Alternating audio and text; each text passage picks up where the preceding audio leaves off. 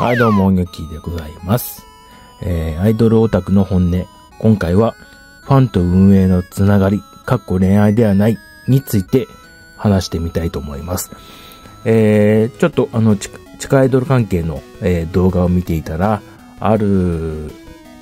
アイドルの運営さんと、そのファンが飲みに、個人的に飲みに行ってるみたいな話題があって、で、その動画の、動画の中でも、その運営さんが驚いたみたいなことを言ってたんですけども、えこれについては、個人的な意見としては良くないですよね。実際に私は、えーある、えーアイドル運営の方と個人的に知人でございまして、で、私が、あのーアイドル関係の、えちょっとオリジナルワインを作るみたいな、アイドルのオリジナルワインを作るみたいな、えーお仕事を始めた時に、えー私もその運営さんの、知り合いの運営さんのアイドルを応援して、オタクとして応援してたんですけども、えーそのアイドル関係の仕事を始める際にすっぱりとですね、えー現場に行くのをまず一切やめましたね。えー SNS は見て応援する程度に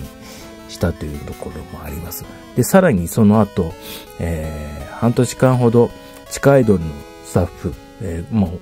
本格的にですね、えーすることになって、さらに、えーその、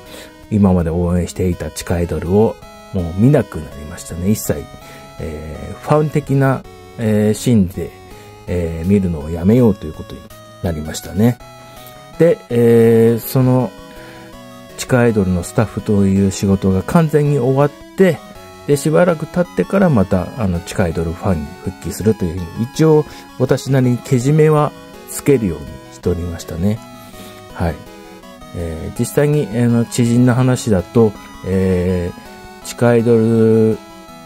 のスタッフをやりながら、えー好きな地下アイドルの、えーメンバーとコンタクトを取ったところ、その運営から出禁になったみたいな話も聞いたりもしましたし、えーやはりその知人の運営さんとも話した時に、えーファンとして、えースタッフ側に回るのは良くないというところで、えーそこはけじめをつけるべきだと思いますね。ですから個人的に、えー一友人として飲みに行くとか、まあ止められないですけど、えーその場合は、あの、ファンとして現場に行くみたいなのぐらいは、やっぱり、えー避けた方がいいんじゃないかなと思いますね。はい。というわけで、今回は、えーファンと運営のつながり、かっこ恋愛ではないということについてお話ししました。ありがとうございました。